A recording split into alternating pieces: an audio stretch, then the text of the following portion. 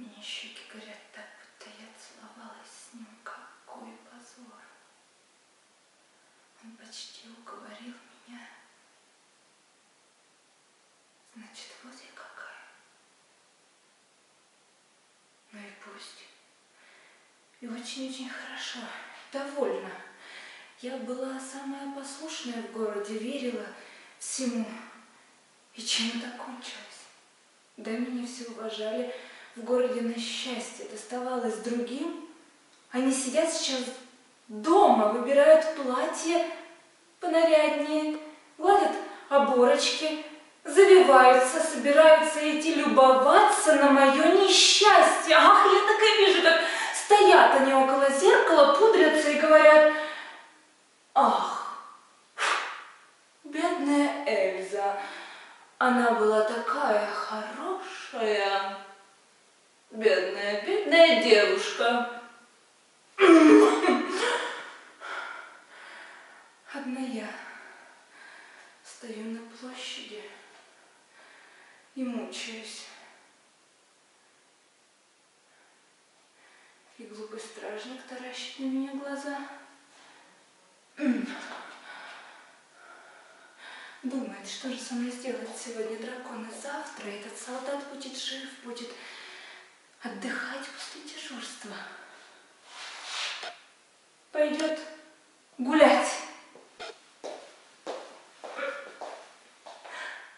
Водопаду, где река такая веселая, что даже самые печальные люди улыбаются, глядя, как весело она скачет. Или в парк.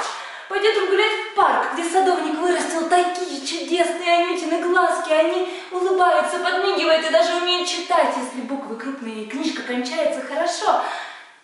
Или поедет он кататься на озеро, которое когда-то вскипятило дракона, где русалки с тех пор такие смирные. Ха. Они не то что никого не топят, а даже торгуют, сидя на мелком месте спасательными Но они по-прежнему прекрасны. И солдаты любят болтать с ними. И расскажет им этот глупый, глупый солдат, как заиграла веселая музыка, как все заплакали, а дракон увел меня к себе, и примутся русалки ахать. Ах, бедная Эльза, ах, бедная, бедная девушка, да, сегодня такая чудесная погода, а ее нет на свете. Хочу, не хочу, я хочу все видеть, хочу все слышать, хочу все чувствовать. Вот вам. Я хочу быть счастливой, вот вам. Я взяла этот нож, чтобы убить себя. И не убью.